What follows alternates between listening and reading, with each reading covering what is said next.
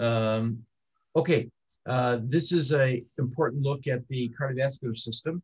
And so whenever I give my talks, I do have uh, some things that I always like to let people know about in advance. That's the acknowledgments from everybody I owe thanks to, my uh, co-authors of some of the books that we write, and uh, all the other people I work with and my staff and my family. Here's an old one of the uh, boys many years ago uh, when they were very young. They're much bigger now, company. Um, and so that's why we all work so hard. Uh, so whenever I give my talks, I am required uh, by the uh, medical uh, bodies, the state bar, and everybody to give the uh, full disclosures. So that has to do primarily with the AMA guides.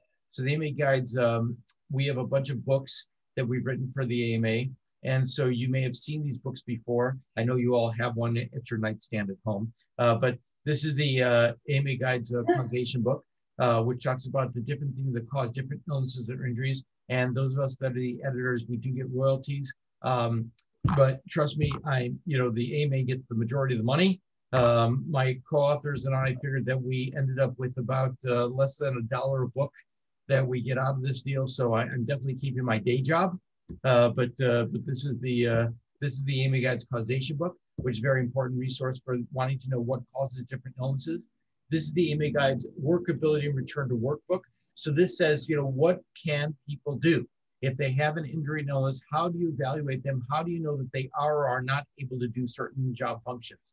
Um, this is the guide sixth edition. I know we are a fifth edition state, but uh, mind you, any medical resource can be utilized in justifying an opinion or examining a condition. So that's why the AMA Guide 6th edition can also be used. And I did the internal medicine section.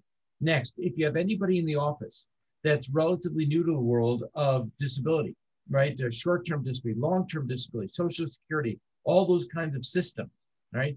Then this is a book we put together that, you know, you probably read the whole thing in an hour and a half, uh, not too difficult at all and it goes over all those different criteria of things to think about. Okay, now, what are we going to talk about today? We're really going to talk about out of the fifth edition of the books, um, the third chapter and the fourth chapter, right? So the first part of this talk does assume that you have a pretty good working knowledge of the third and fourth chapters. And I'm going to emphasize certain things within those chapters. And then we're going to drill down uh, later on into some different aspects of those chapters, right? So here we go. Third chapter, right? When you're looking at the third chapter, one of the things I want you to look for in your reports is the subjectives versus the objectives, right? So there's something called the New York Heart Association classification system, right? So what does that mean? So we've always done this where somebody says, I get chest pain, shortness of breath, limitations. We try to break it down into how significant are those symptoms, right? how much does it really impact somebody? And you're going to see why the subjectives come into play when we're looking at impairment ratings. Obviously, one of the things that we want to do is look at the objective measures, right? Because that's really going to guide the majority of this. And in my world, the internal medicine world, we have some very good objective testing that we can use. Now, probably when you've looked at reports, you've seen all these different kind of terms before of different ways of going about this, right? Um, and how do you evaluate that? Well, I want you to keep one thing in mind about these different tests. So look at this. Now, now don't let the chart get you too, too bent that shape. Just draw your attention to the following thing. If you do a regular stress test, right, then the sensitivity, how reliable it is, how well it picks things up, is about a coin toss, right? That's why on all my testing, I try to do stress echoes, right? Because once you start getting to echoes, right, you start getting a very high rate of reliability, very high rates of sensitivity and specificity. So remember that. If you're looking at a report, someone says, oh, there's nothing wrong with this person, but all they did was a regular stress test and didn't do any imaging with it, then you can see that you're going to miss some stuff, right? So that's why I'm a big believer in stress echoes. And I'm going to show you other reasons why I'm a big advocate of stress echoes. Okay. Now, what do we look for on the stress testing? We look at how well they exercise, what peak they reach to. Do they get their symptoms, right? They say got chest pain, but does the stress test bring it out, right? Do they have any irregular heartbeats? We look for the electrical change. We look at the blood pressure, but there's one concept here called METs. This is a very important concept. So watch this, stay with me on this very carefully. The METs, right? So what is a MET? A MET is a metabolic measure. Now, look, uh, this is gets a little bit involved medically, but let me just tell you what it is. It's the amount of huffing and puffing that you got to do. It's the amount of work, right? So you can imagine that if you get on a treadmill and you start walking and it gets faster and steeper and harder, you're going to breathe harder. You're going to pull in more oxygen. You're going to push out more carbon dioxide. So that's going to be a higher MET. That's going to be more work, right? Well, why do I care about this stuff? Because if you go to the guys, look, look, look, look, look at how this stuff gets rated, right? So you see here right on the table, METs, right? So you can see in all these different ways of testing people, the longer you go, the further you go, the more METs you're expending. And look here, those symptoms, right? So what you should see is that if somebody's moving along here, they're getting less and less symptoms, right? Meaning that if you have somebody goes a very short period of time, okay, then their subjectives and objectives are saying some bad news, right? Low METs, low time, uh, very high uh, number on the functional class. Those are the ways that you look at somebody's symptoms and their presentation to know where do they belong in the ratings, right? Okay, for a stress test, you have log into your 401k. Um, that's another way to do this. Uh. Right. So, so, so here we go. So what we're going to do is we're going to walk right through uh, the uh, different sections of the guides. And so we're going to show how you look at them, right? So here we go.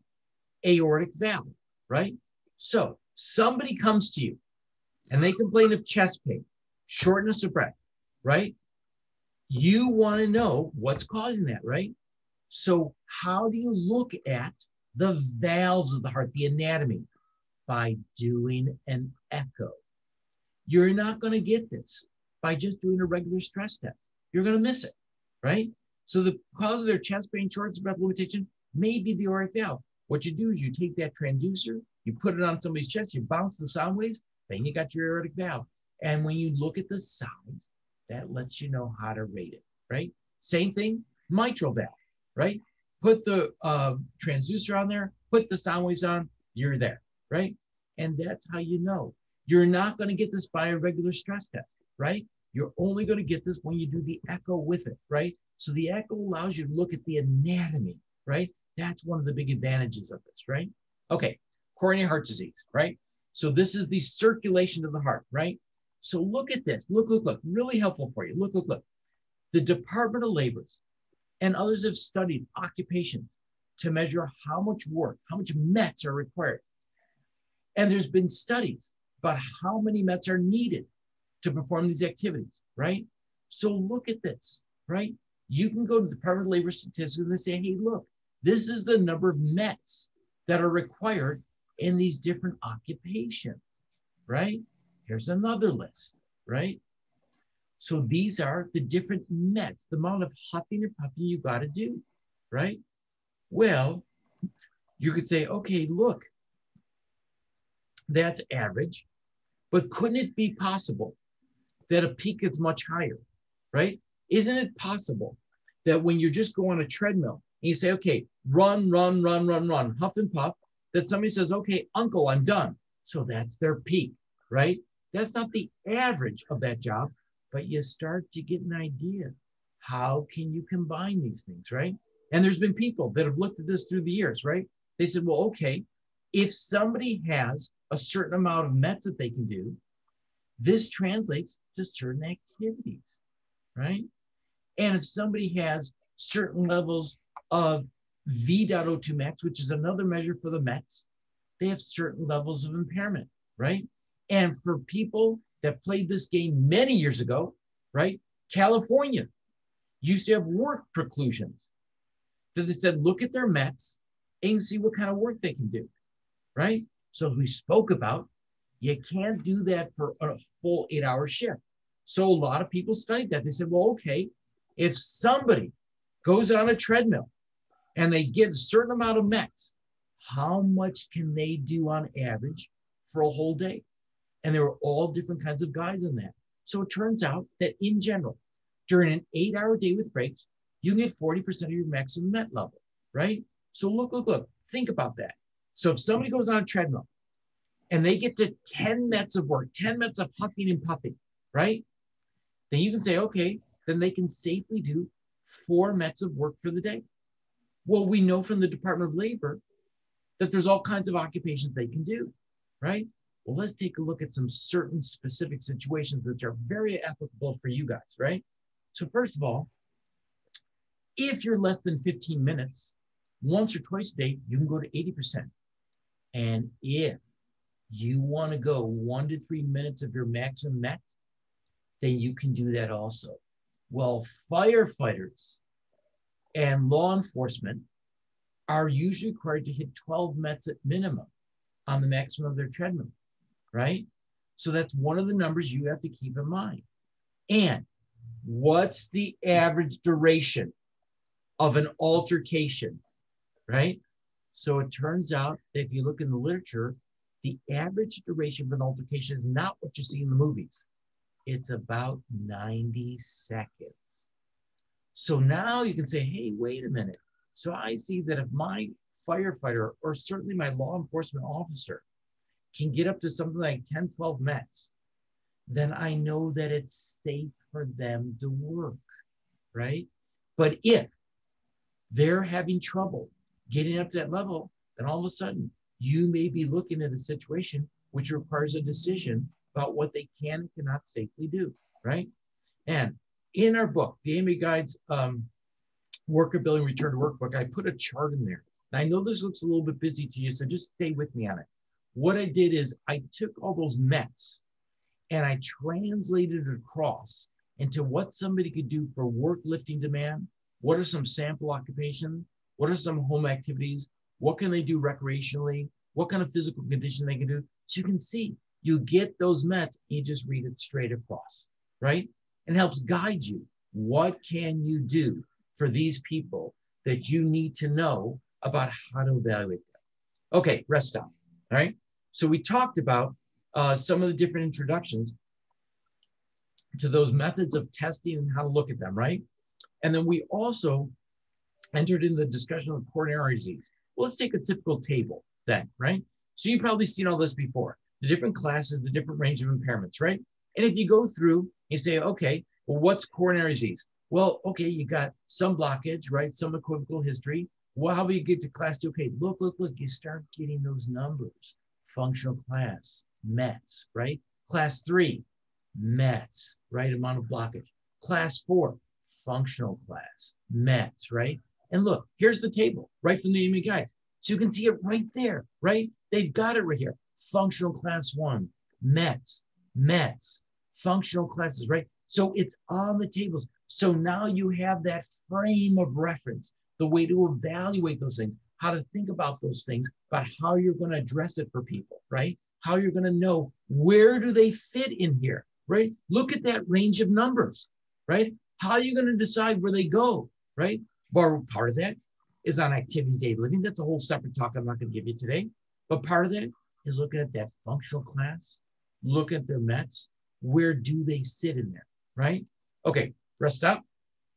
Now, see this? Goodbye, cracks. Okay, anyways, um, so next, we're going to do the other sections, right? So congenital heart disease, right? This is things you're born with, right? And so when I speak to the doctors, this is the stuff I talk to them by, Just forget about this. But what I want you to know is look again. Here's the congenital heart disease. Look again.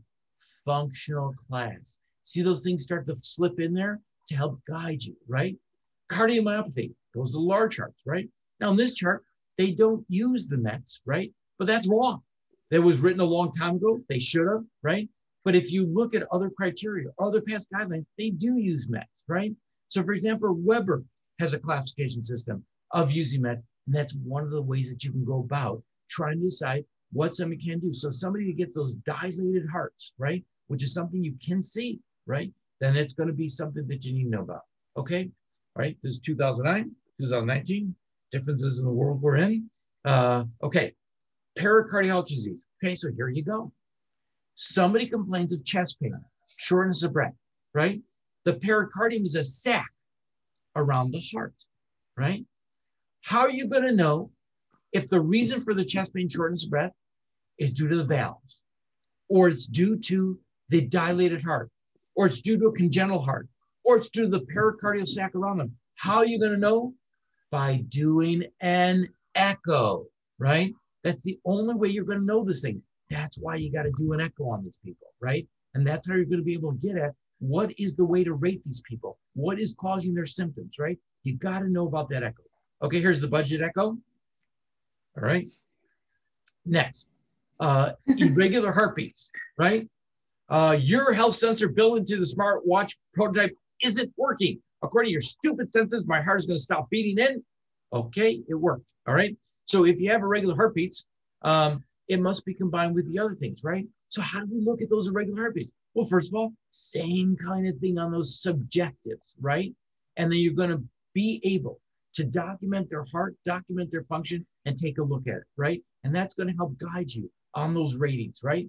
Uh, it's a pacemaker, plus you can download apps for your liver, kidney, lungs, pancreas. Okay, uh, rest up. Here's the boys um, uh, out there. So what we've done is is we've now gone through chapter three, right? Now I want to take you through chapter four, right? Now this is the home, obviously, of high blood pressure, right? The most common things we see in the law enforcement, probably the most common thing I get asked to comment about in my public safety folks, right? All right. So hypertension heart disease, primary numbers game. I'm sure all the salt water is good for my hypertension, uh, which is good. Please avoid salt for all of you. Don't add salt to your food. That's my little medical thing for you. Um, okay, next. When you classify hypertension, okay, so the fifth edition used the JNC6 criteria. That's an old criteria, right? So when you see people in their reports, you may see some differences in terminology. They'll talk about something called pre-hypertension, not high normal.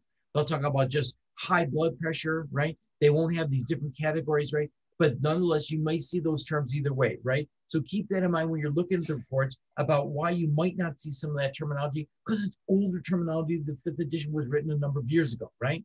But when you look at high blood pressure, they're going to be at class one, right? So you see those same ranges of numbers again, zero to 9%. This is the more minimal one, right? Class two. Now you're starting to get some impacts. You may see something on the urine, right? You may see something on the eyes, right? And then you know that you're starting to get into class two. Class three, right? Well, that's the home of left ventricular hypertrophy. You got kidney insufficiency. You're having a lot of medication to try to control blood pressure. And then class four, this is all the work. This is where you're going to have the medications. You're going to have some uh, heart failure, right? That's what CHF for is heart failure. That's going to push you up in that level, right? So you're going to need to do a careful assessment. Now, how do you know if somebody has left ventricular hypertrophy? How do you know if somebody has a cardiomyopathy? How do you know if they have heart failure? By doing an echo. You've got to get that study done in order to know what's going on with somebody, right? And when you look at this around the world, this is something that's been growing in uh, problems throughout the world. Uh, countries with the highest deaths due to high blood pressure, right? You see right up here China, India, Russia. This is not just an American problem, right? When you look at the breakdown of different parts of the world, right? You're starting to see more and more uh, deaths coming out from this, right? When you look at ischemic heart disease, right?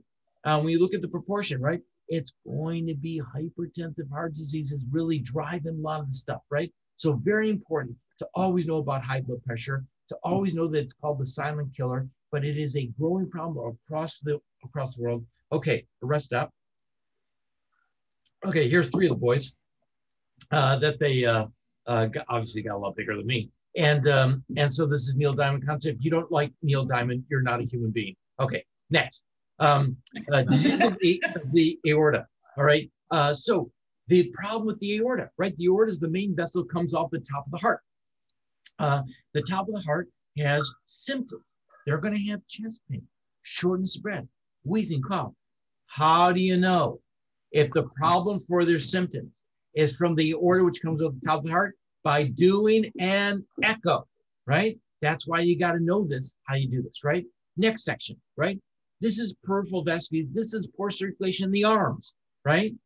This is poor circulation in the legs, right? So these are very important findings, right? There's ways of doing this. You can actually do arterial studies of the legs. You can measure ratios of uh, the blood pressure in the arms and legs, which by the way, by the way, here's one for you. Which has a difference in blood pressure, if at all? Is the blood pressure the same in your arms and legs? Higher in the arms or higher in the legs? Well, it turns out your blood pressure is higher in your legs, right? So that's ways of doing these measures to take a look at it. Okay, next, the lungs, pulmonary hypertension, right? So this is where you've got high blood pressure in the lungs. Okay, so notice a few things. Look, look, look, look, look. If you have high blood pressure in lungs, 40 to 50 is already start of high blood pressure in lungs. Now we think about our regular circulation, it's 120 over 80. Well, that's because the lungs are a lower pressure system, right? So you get higher pressures at very lower numbers, right?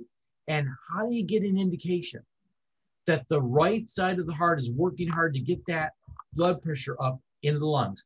By doing an echo. That's where you're going to get that initial information from. That's why it's helpful because if somebody has chest pain, shortness of breath that's coming from lungs, that would be why you want to know about it. Okay. Okay. Rest up. All right. So, folks, you've survived the overview of the first two chapters, right? And this is very important because it's very important that you know the basics there that we went through. Now, what I'm going to do is I'm going to walk you through a couple areas that I want to talk to you about, right? Things that I think will be very helpful for you when you're analyzing your cases, things I want you to look for in the reports, right? So I want to talk to you about risk factors, stress, and some aspects of apportionment. Okay, ready? Here we go, right? Risk factors. Okay, look at this list. Most people have seen this before, fair, right? Most of you say, oh yeah, I've seen that before. I've heard about that. Those are the common things, right? Fine, right? So risk factors for heart disease. How about these? Uh-oh.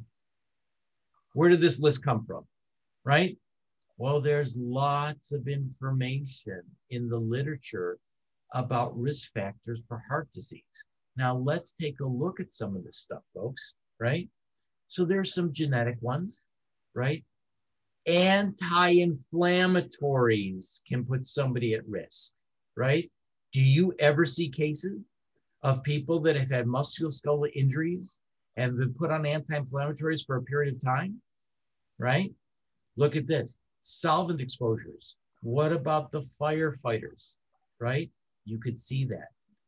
Hormone replacement therapy. So for my ladies, uh, one quick little thing. I just want to go, go through this real quickly for you. A couple things. One, the original data was in the older Prempro. The newer hormone replacement therapy uh, does not place somebody at risk, right? So for my gals that uh, go into menopause, what I'll usually do is if they want, I'll put them on bioidentical hormones, which is low dose seems to be fine.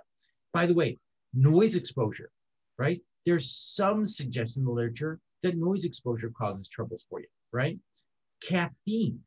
If you are a slow metabolizer of caffeine, right, that you're very highly sensitive to caffeine, that actually can put you at a little bit of risk for heart troubles, right? So for all of you fully leaded drinkers in the morning, I want you to think about that. Next, air pollution, right, can cause some troubles, right? And so you need to know about that because some people have to deal uh, with patrol. Some people have to be at fires, right? So in those public safety personnel, you're going to see some of that stuff, right? Um, other risk factors. Um, uh, some people have hepatitis C, HIV, uh, which is the uh, the old AIDS term, those kind of things, uh, can also put you at a little bit of risk, right?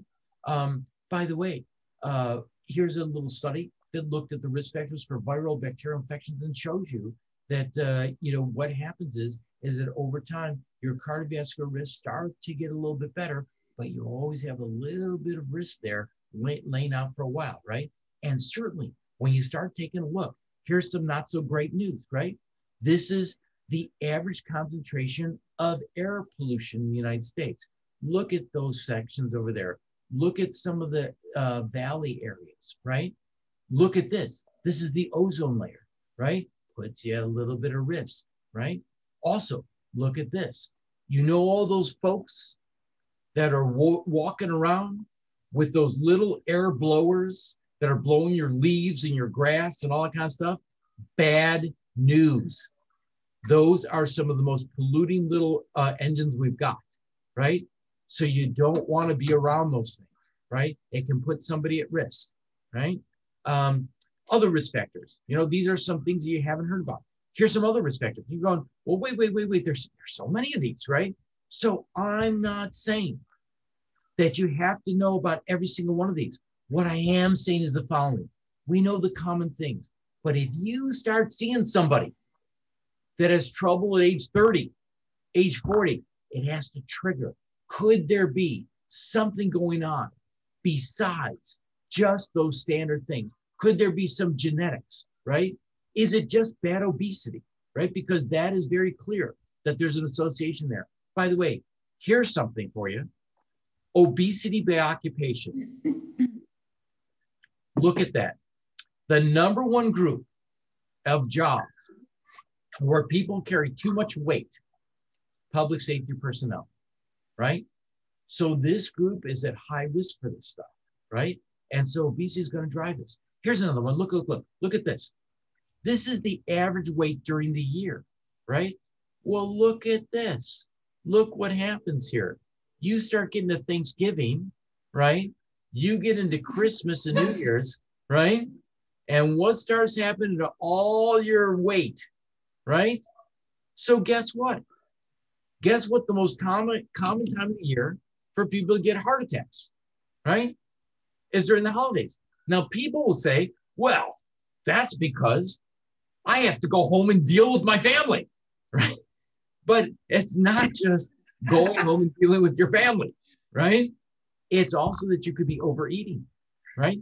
By the way, by the way, most common day of the week to have a heart attack is Mondays.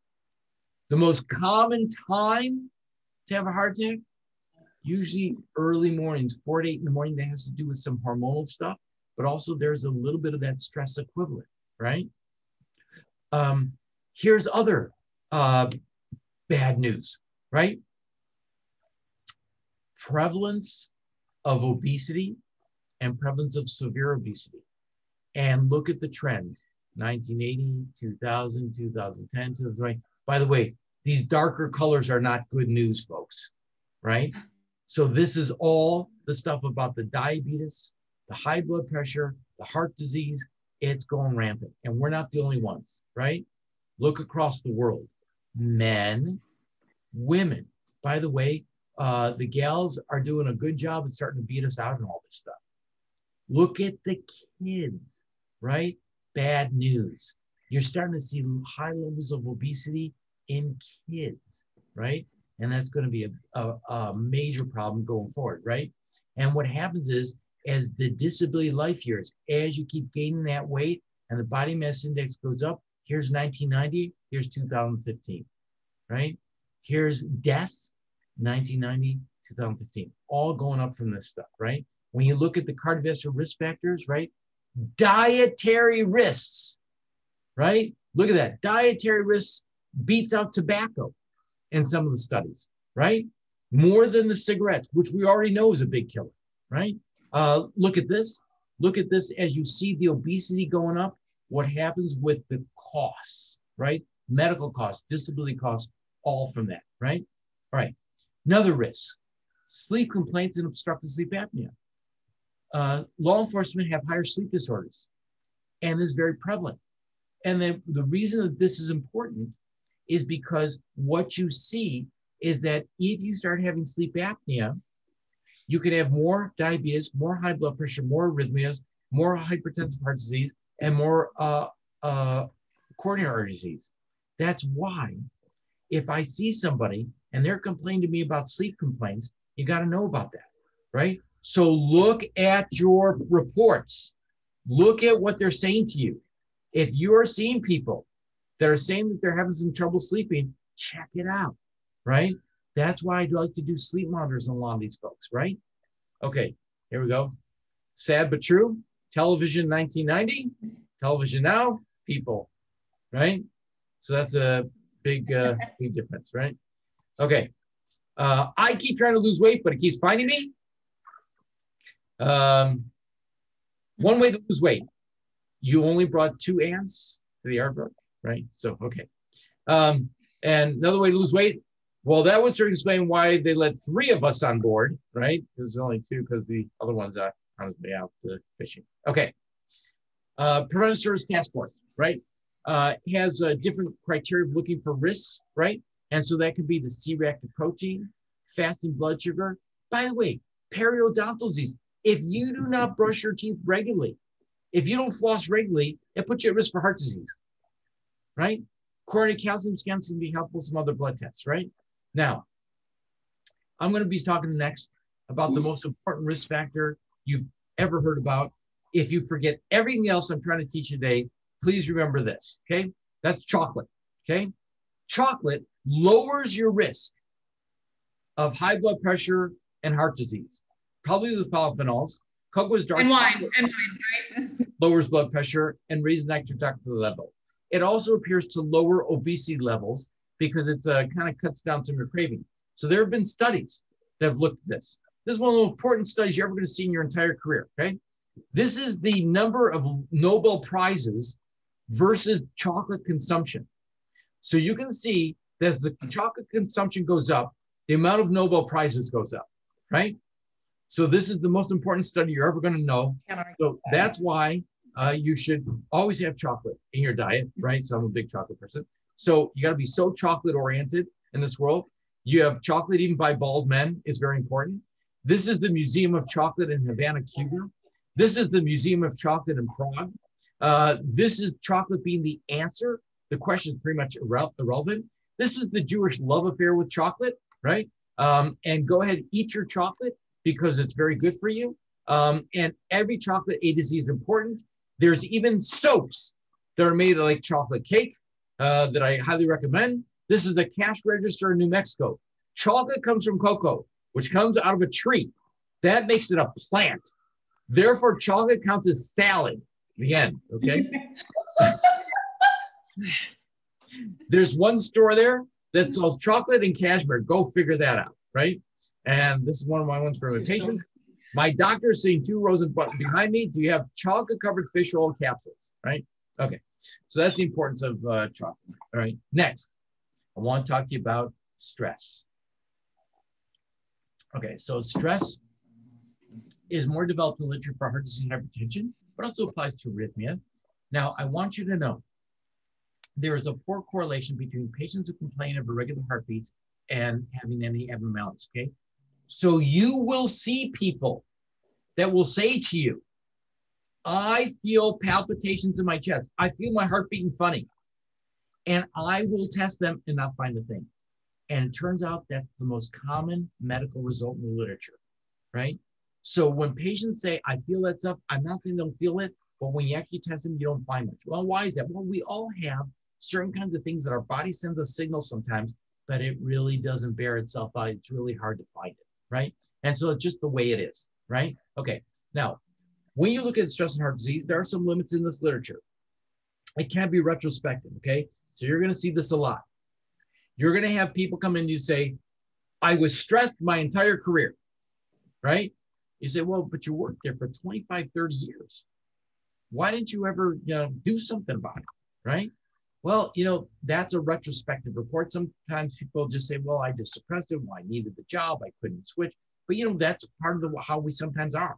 Or when once we get sick, we start looking backwards and, and blaming things in the past, right? A lot of this literature reports on self-report of stress, whereas it's not good objective documentation. People can have already existing depression anxiety that makes them say it's stress, but really it has to be with who they are, right?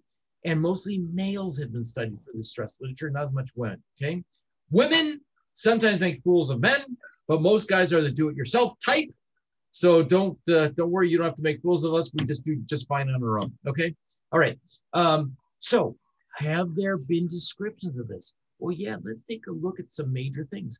How about the Northridge earthquake? Right, there was an increase in cardiovascular deaths from an average about 16 day to 51 deaths per day right around the time of the Northridge earthquake, right? There have been changes in the Taiwan earthquake where they showed that the heart rate variability, which is a measure of heart disease, goes up, right? There's been interheart studies where they talk about, hey, you can capture almost the majority of all the risk in cardiovascular disease, smoking, hypertension, diabetes, obesity, psych, but all of a sudden, look, look, look, look, look, psychosocial factors, right? It's in there. Everything we've talked about, right? By the way, if you're a caregiver a caregiver for elderly, somebody's living in your home, you haven't taken a sick person, that actually puts you a little bit of risk because of the stress of that, right? Um, uh, silent heart disease has been documented when patients have mental stress, right?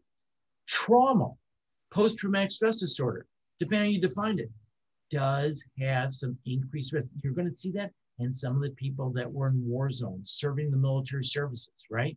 You're going to see some of those, right? You can see it in um, very different populations, including in women. We've got one good study in women that increase your odds three three times as much, right? Combat we talked about, right? And there's also one uh, where they look at uh, in a very large uh, cohort study, 130,000 cases, 170,000 siblings, 1.4 million unexposed. You actually had some increased risk from that stress. Um, now, we did write uh, uh, a paper on post-traumatic stress disorder and uh, acute stress disorder that's in the ACOEM guidelines. Uh, and I think we've updated once or twice. So that's a reference that you can also go to if you want to take a look at some of the things that we wrote about, uh, about this uh, particular area, right? Um, depression and risk of heart disease. By the way, this comes from the nurse's heart study.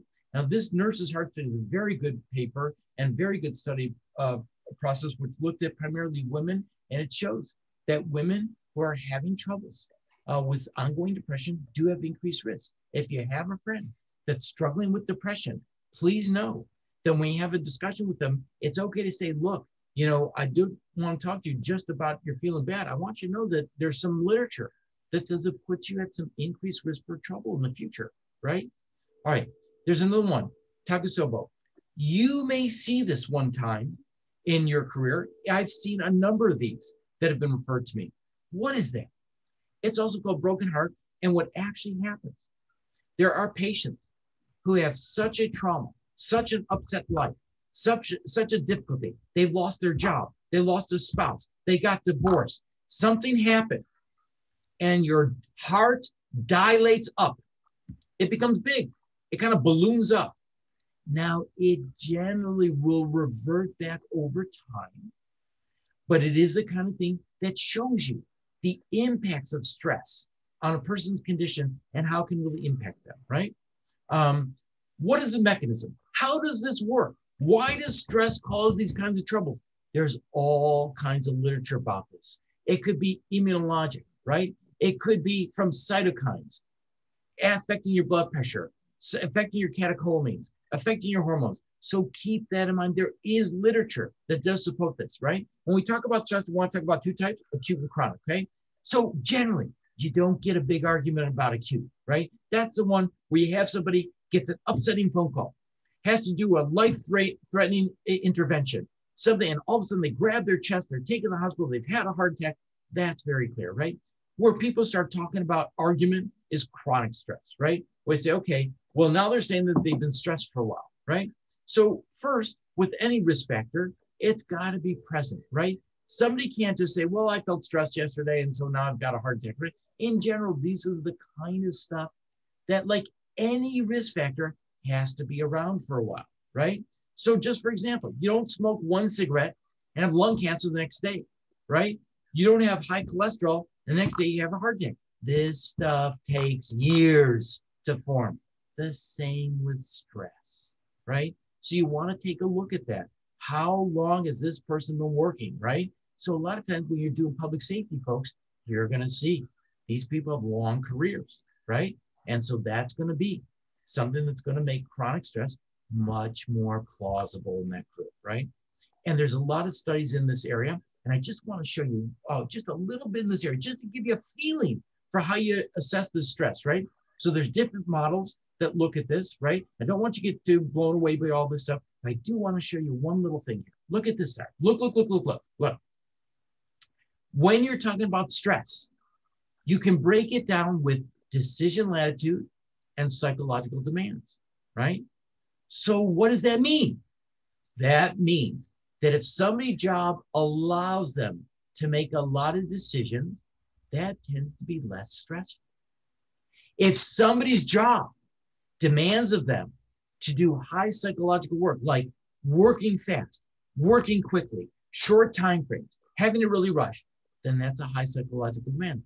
So if you have low decision latitude, you don't have much say over your work, and you're under pressure all the time, that's a high strain job. And in those data sets, that shows that somebody's at work, at risk, right? So look at your, you know, waitresses, right? Firemen, by the way, kind of fall into this group, right? Because of that tendency of high uh, psychological demands, low decision latitude, right? Um, there's other scales who have tested high strain jobs. And for example, they saw it in public safety personnel, right? Siegrist, he had an effort, reward, imbalance model. Now, this is, watch this, watch this, watch this. This is a combination of high job effort, low social reward. Okay. High job effort.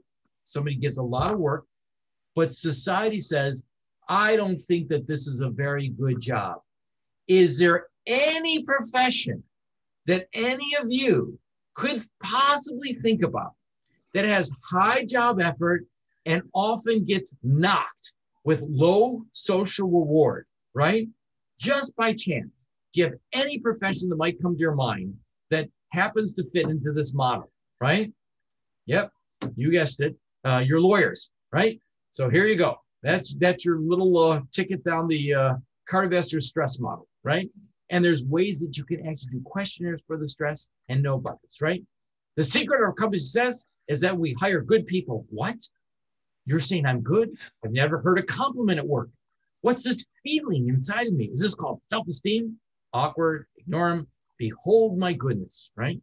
Um, so, uh, Karen Belkic, a colleague of mine, she had a, a, very good study. By the way, in her risk group, uh, commercial bus drivers are at increased risk, right? Um, there are others uh, that looked at this, and they're different ones. By the way, look at this shift work. Okay, please, please watch that spelling. Shift work has been shown to increase people's risk, right? So when you think about some of the folks that you're tending to see, the public safety, that's where that data comes from. That says shift work does lead to cardiovascular troubles. More data, shift work leading to cardiovascular troubles, right? And so this could be a whole com- combination of different models about what could cause somebody to have tr- uh, troubles. Um, and there's different ways of looking at this. But we talked about the psychological demands, the so- sociological demands. What are your research? How will you be able to compensate for this? And then when they've looked at this long term, Canadian studies, 60 years of follow up, right? They show it, right? And that that tells you that that's where the areas are, right? Okay, the employee schedules all that chemistry. Ammonia bleach is toxic. Carlos and Tony together today. Judah and Romeo get the hose, right? Just let you know what uh, things you always think about who you're working with, right? And when you have a bad work situation, you get cynical about it. That leads to job strain. When you get job strain, leads you to cynicism and starts feeding on itself, right? So I want you to think about this, right? Is has the strongest impact. Generally, people from lower socioeconomic groups, poor social class, lower education, they start to have hostility, anger, time urgency, patience. They get depressed, they get anxious, right? And they will be the ones that will go down this path, right? Uh, don't underestimate this potential, right? Because say, oh, well, I'm stressed. I'm stressed. It does have an impact, right? There's even ways of doing a stress test, right? You can ask yourself this. This comes from the Wall Street Journal, right? I have control over my time. I receive support and encouragement. My work lends meaning and purpose to my life. Stress can help me learn and grow. I often perform better under stress, right? And you can actually score this out, right? You score this out and you put your different scorings on there. You can decide do I have a stressful job, right? Now, let's say you say, okay, I'm under stress. What do you tell patients to do about this? Okay. There's all kinds of things that have been shown to help. First of all, number one, I'm doing this every day of my life. You got to exercise, right? Get outside. Very important, right? Uh, hibiscus tea, blueberries, getting a pet can help you lower your stress levels. Volunteering helps you with your stress levels. Get or stay married. Being married helps you. Having a kid helps you have at least 14 hours before between work shifts. So look, folks, look, look, look, look, look. If you work late one night, say, I got to get this done, and I show up the next morning, if you do that too much and you don't have a good break between your work, right? That's putting you at a little bit of risk, right? So keep that in mind, right? Uh, stay married. My wife is starting her own business. I'm sorry to hear that. How many years have you been married? She's not leaving me. She's starting a business. Right. Don't talk about phase two. Got it. Okay. So, uh, Kristen and Kayla, I want to wish you very best on your. Okay. Next. Um, stay married. Back in those couples didn't divorce, famine, disease put them out of their misery. Right. It's a lot easier to admire a man if you haven't washed his underwear. Right. Retirement. Having your husband retire means half the income and twice the husband. Oh no. Um, men say women should come with an instruction manual, but since when has any man stopped to read the instructions? Right? Okay. Next, hearing loss. Husbands go deaf after 20 years. Right? Uh, this is a ear doorbell in Milan, Italy, by the way. Uh, what can you do with your husband? Put him in a daycare center uh, where they can uh, go in there. You put them in a restaurant, let them drink, and you can go on and have a very good time. Uh, you can take the stairway to heaven and and take prayer along with you. Um, and when you exercise, remember to look both ways before crossing the desert, Moses. Um, and uh, that that'll get you some good exercise if you're going through the uh, going through the desert, and that will help you with the uh, help with stress, right? Um, and then when you take a look at this, when you look at physical activity, right? This is a chart of physical activity in the United States. So the blue stuff is good, the red stuff is bad right? So if you want to really help yourself, you got to get out there and, and really exercise yourself. I am too blessed to be stressed, too anointed to be disappointed, right? And then if you're going to take all that, you have to think about apportionment, right? So what you're going to be thinking about is is uh, what are those factors that we've gone through today that cause these different things? How to break it up, right? You can have some apportionment to pre-existing disability. Uh, when I lecture uh, across the country, right, uh, sometimes there's some different uh, words and phraseology that you can use for apportionment, but in general, this applies across the board. Um, and causation is that consideration. We have to look at diabetes, cigarette use, right? And decide, is this natural progression or is there an onset right at, right at the time of it, right? And you have to balance those things about what is the counter argument to apportionment, right? What is that going to be? Is it that they had a sudden onset of that acute stress those risk factors were not operating, or did they have those risk factors for a year? That's how you break it up, right? And so when I talk to the doctors, I always say, look, this is your medical opinion. You have to give your best opinion based on reasonable probability. If you keep doing this properly, you're sure to anger a lawyer, which is your real job and joy in life. Uh, and that's the voice. Okay, so um, here we go. I'm going to come off of this thing uh, and uh, let you uh, have a chance to. Uh,